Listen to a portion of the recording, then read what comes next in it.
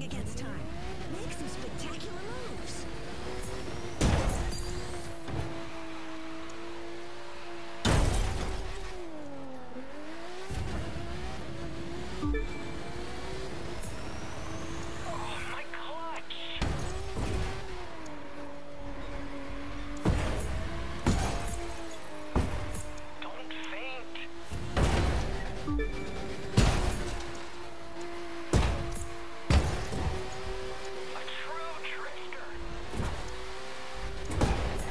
thank you